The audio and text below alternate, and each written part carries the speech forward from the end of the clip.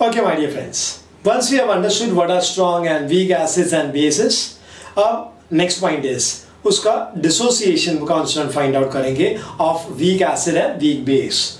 So dissociation constant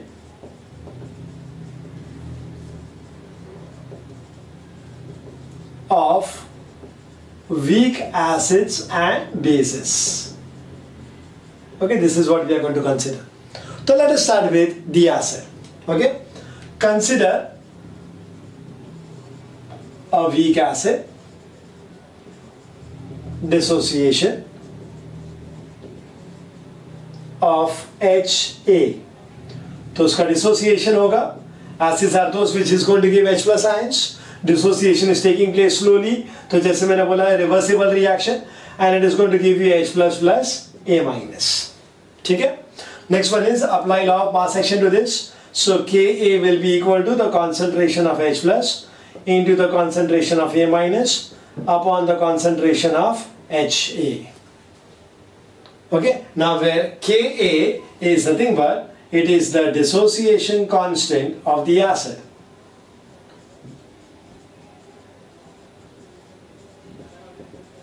What is it? It is a dissociation constant of the acid.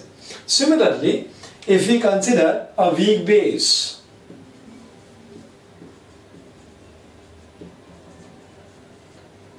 dissociation,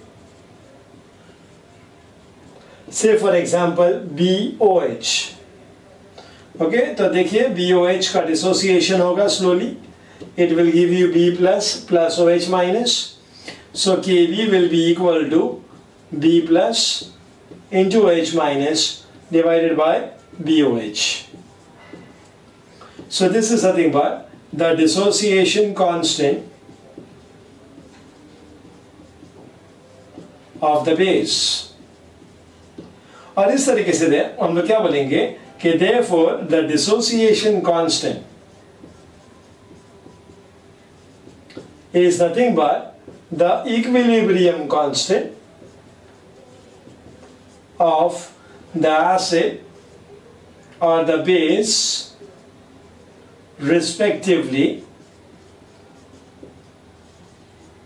at equilibrium okay ऐसे हम लोग बोल सकते हैं what is dissociation constant is the equilibrium constant okay किसका of the dissociation okay I will also use one more word and that is dissociation हो रहा है association नहीं हो रहा है okay it is the dissociation of the acid and the base, respectively.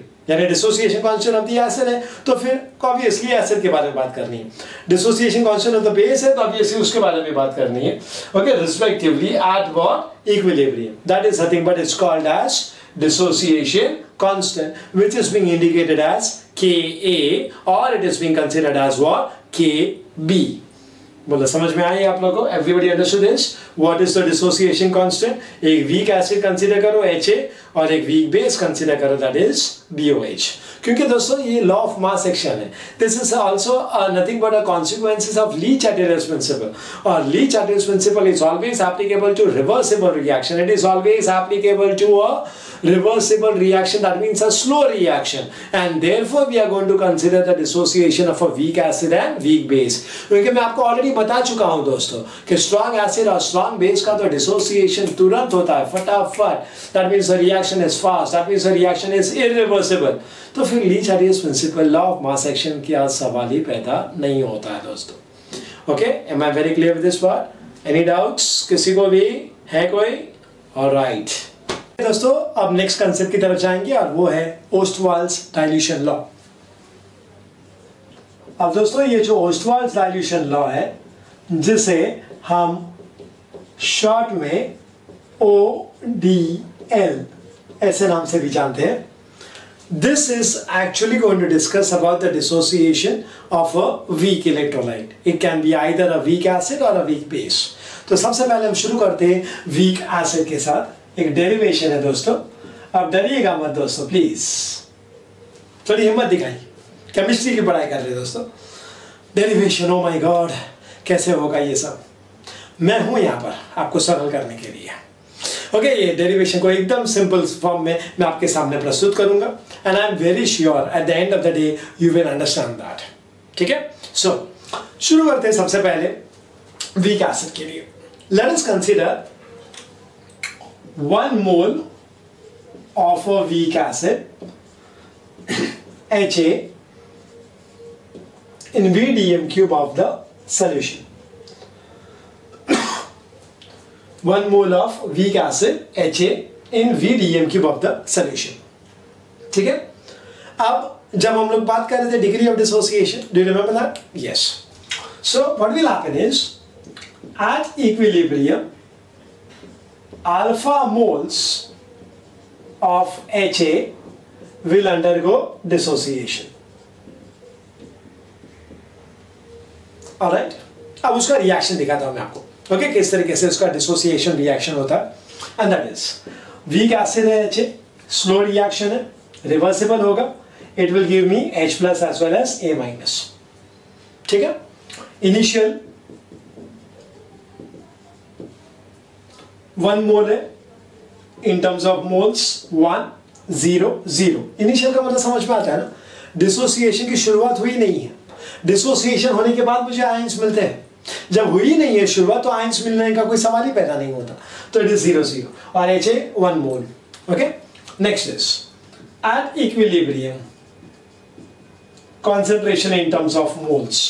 Okay देखिए alpha moles of H F undergone dissociation ठीक है? तो जो जिसका डिसोसिएशन होता है वो मुझे क्या दे रहा है? एच प्लस और ए माइनस दे रहा है। मतलब ये अल्फ़ा मोल्स मुझे मिल गए। अब मेरे पास total number of moles one है। उसमें से अल्फ़ा मोल का डिसोसिएशन हुआ।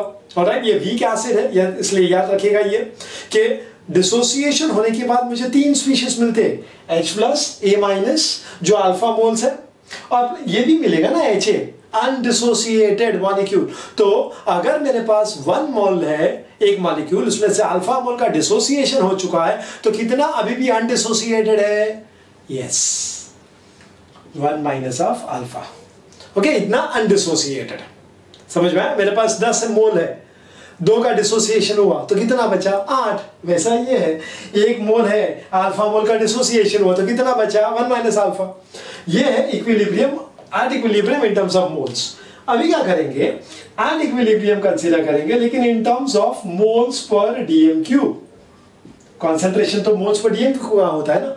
डीएम क्यूब कितना लिया हम लोग ने? वी तो V have one minus of alpha upon V alpha upon V and alpha upon V ठीक है? ये हो गया।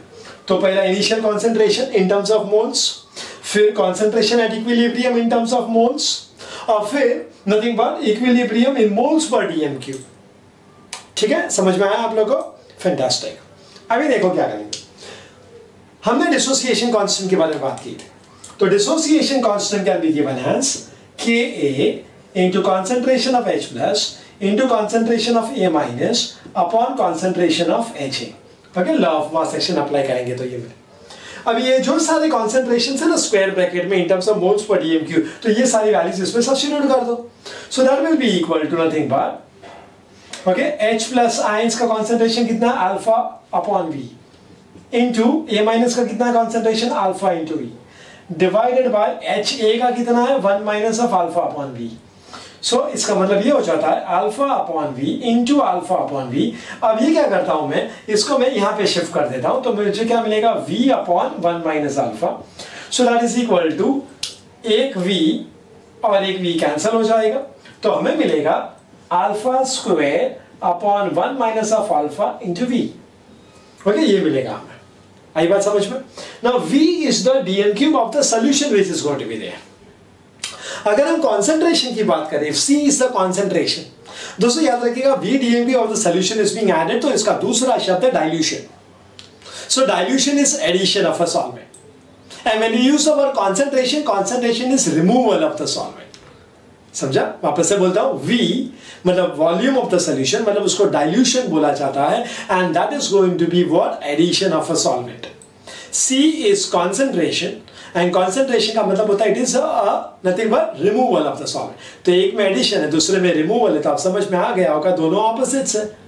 और अगर दोनों ऑपोजिट है तो ज़ाहिर सी बात है, हम क्या बोलेंगे? C will be equal to one upon V where C stand for concentration और अगर ये इधर डाल दिया जाए तो हमें मिलेगा K a is equal to alpha square upon one minus of alpha into C because ये one upon V I will consider it as C ये मिलेगा मुझे okay K is equal to alpha square C upon one minus of alpha okay ये मिलेगा अब next thing is दोस्तों, मैंने पहले ही बोल दिया कि this is a weak acid so dissociation is taking place to a very less extent तो अगर dissociation is taking place to a very lesser extent so number of moles of the ions formed are going to be less and alpha मालूम है ना formula आपको?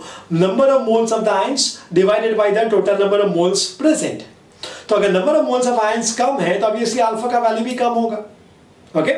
और alpha का value अगर कम है तो व्हाट वी डू इज़ मैं यहाँ पर लिखता हूँ, so that you understand this very well. For a weak acid the value of alpha is very very less as compared to 1 काफ़ी कम है। यानी, मिसाल के तौर पर, अगर 10 मोल है मेरे पास एच का तो हार्डली एक या दो मोल का ही डिसोसिएशन हो। तो मुझे अल्फ़ा का वैल्यू कितना मिलेगा? टू डिवाइडेड बाई टेन तो पॉइंट टू तो पॉइंट टू का वैल्यू वन के कंपैरिजन में काफ़ी कम है। और इसीलिए दोस्तों। Therefore one minus of alpha is approximately equal to one हमने अल्फ़ा को इग्नोर किया क्योंकि वो वन के मुकाबले काफ़ी कम है।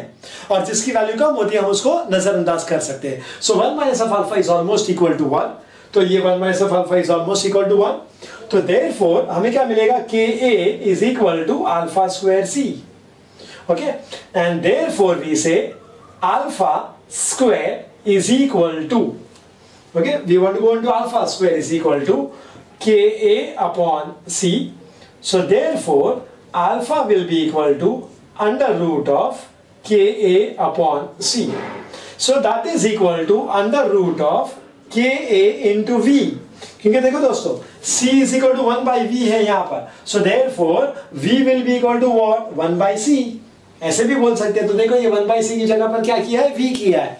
और इसी वजह से दोस्तों, अभी हम जो स्टेटमेंट लिखने जा रहे हैं, वो ये है कि the degree of dissociation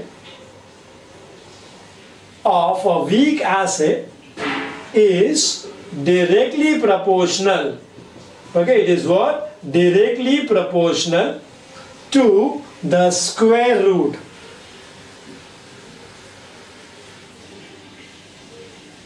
Of the volume. Of the solution which is containing 1 mole of HA or it is inversely proportional to the square root of concentration समझ में सो डिग्री ऑफ़ डिसोसिएशन है मतलब it is alpha directly proportional है किससे? Square root of volume से। या फिर हम ऐसे भी बोलेंगे it is inversely proportional to the square root of concentration okay? From this, what is the expression that we are getting is this okay? तो ये स्टेटमेंट लिखा, इस एक्सप्रेशन क्या था? क्लियर अब दूसरा आपके दिमाग में चलता होगा कि ये वीक एसिड के लिए क्यों? क्यों स्ट्रॉन्ग एसिड के लिए नहीं? बहुत सिंपल है दोस्तों। स्ट्रॉन्ग एसिड का मतलब क्या?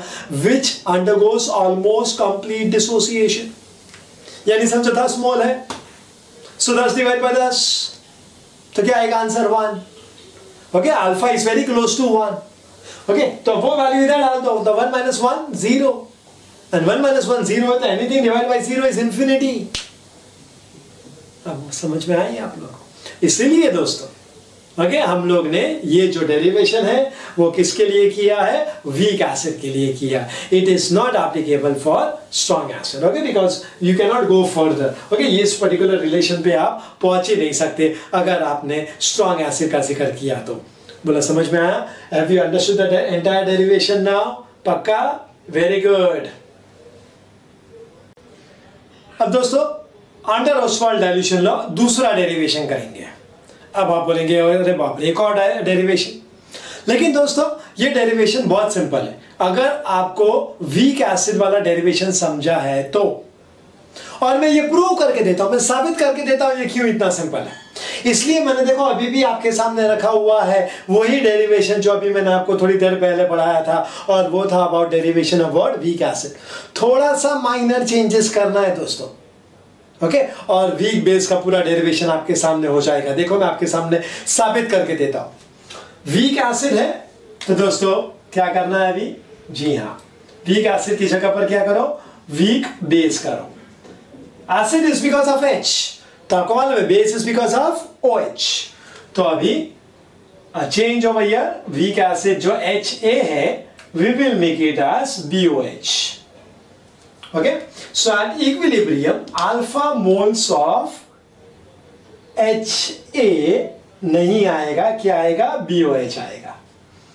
V dn cube of the solution, ऐसा ही रहेगा at equilibrium, alpha moles of BOH undergoes dissociation और वो dissociation भी कैसे हो रहा है, आप सबको अच्छी तरीके से पता है। And that is, इधर हम करेंगे BOH इधर क्या आएगा दोस्तों? जी हाँ B plus plus O H minus ठीक है? इनिशियली वन मोल है। ओके देखो ये वन मोल लिया है। ज़ीरो ज़ीरो फिर अल्फ़ा मोल का डिसोसिएशन हुआ है। तो मुझे अल्फ़ा मोल्स बी प्लस मिलेंगे alpha moles O H minus मिलेंगे। तो बचेगा कितना? वन माइनस ऑफ़ अल्फ़ा फिर उसे हम लोग ने मोल्स पर डीएमक्यू के हिसाब से कन्वर्ट किया तो one minus alpha upon V alpha upon V and alpha upon V V वही रखा है। के ए अब ये जो बात है, उसमें थोड़ा चेंजेस आएगा। के ए की जगह पर क्या आएगा दोस्तों? के बी आएगा। ये H प्लस की जगह पर क्या आएगा? B प्लस देखो आप कितने होशियार हो। आप लोग सब मुझे बता रहे हैं, मुझे सुनाई दे रहा है ये सब। OH माइनस आएगा। और इधर एच की जगह पर क्या आएगा? BOH आएगा। Okay otherwise everything is same plus का वैल्यू वही alpha upon B into alpha upon B 1 minus alpha upon B ये इसको ये बाजू लेके जाओ। V V कैंसिल हो जाएगा। नेक्स्ट इज़ वॉल्यूम और concentration inversely proportional so we get this हम लोग ने यहाँ पे वीक एसिड कंसीडर किया था तो अभी हम लोग कंसीडर करेंगे क्या weak base alpha ka value will be very very less than 1 so 1 minus alpha is almost equal to 1 and therefore 1 minus alpha ka 1 hai to k becomes alpha square c alpha square is equal to k upon c alpha is equal to under root of k upon c that is under straight directly proportional to under root of k into v so degree of dissociation of weak acid की जगह पर हमें करना है weak base and that is directly proportional to the square root of the volume okay of the solution containing one mole of BOH और it is inversely proportional to the square root of the concentration साबित किया गया नहीं दोस्तों? थोड़ा सा minor changes किया इधर उधर और आपके सामने पेश है यह दूसरा डेरिवेशन ओके केमिस्ट्री की पढ़ाई इसी के तरीके से करनी चाहिए। पूरा कंसेप्ट नहीं पढ़ने का, एक कंसेप्ट तरली पढ़ो और फिर उसके साथ रिलेटेड है, वो उसके हिसाब से घुमाओ। देखो फिर, कितना सिंपल हो जाएगा समझने का। एक बार समझना चालू करोगे तो केमिस्ट्री अच्छा लगने लगेगा आपको। ओके तो ये मुझे लगता है ये आपको दूसरा डेरिवेशन समझ में आ गया होगा। Yes thank you